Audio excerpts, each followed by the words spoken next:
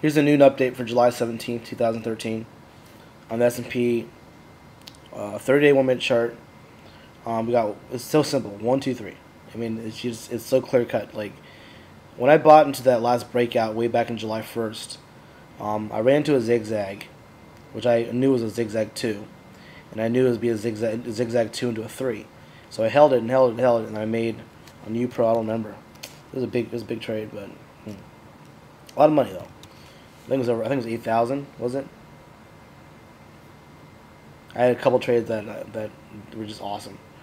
I mean, I it's like I, I bought right the the the two break and the the third wave breakout, ran into a zigzag and then um, ran into a zigzag and then just rode the third wave up as much as I could. What I try to do is try to go in and out of the third wave every time I do it. But the thing that having the belief that there's a third wave behind you is like amazing. It's like you know that the third wave is going to push you up. And um, I called it everything. I'm talking every fucking thing for a long time. I've been calling everything perfect, man. The, the, the market has just achieved simplicity for me. It's like amazing.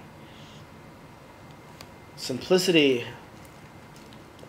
I've achieved simplicity in what I've done. And the market, in a bull market, is very easy.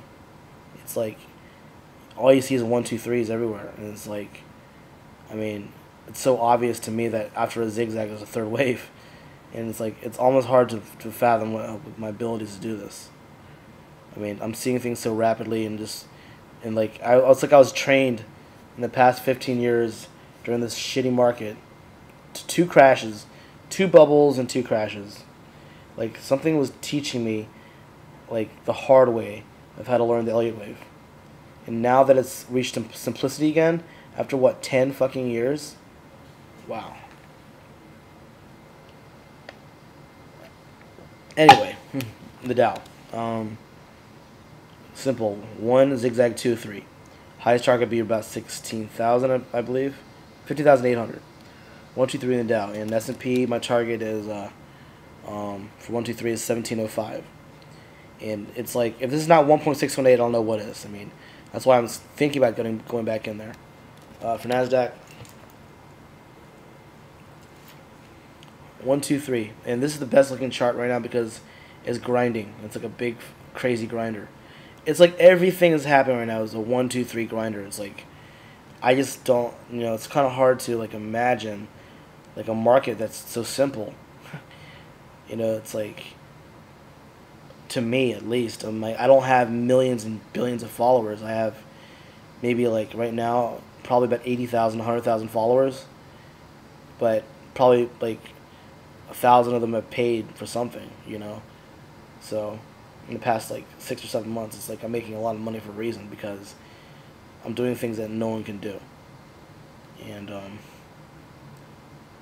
it's hard to handle it. I mean, I'm I've achieved like a fanatical following and like a really fanatical following, and um, I'm trying to figure out how how to to move to the next level, to the next big fucking level, but I need to I need the like the a guidance from someone like Jennifer Aniston or like Jennifer Aniston. Hey Jennifer Aniston, how do you handle this this uh, this sudden rise of celebrity? now, how about who's already rising right now? How about like Mila Kunis? I don't know. Anyway, that's a wrap.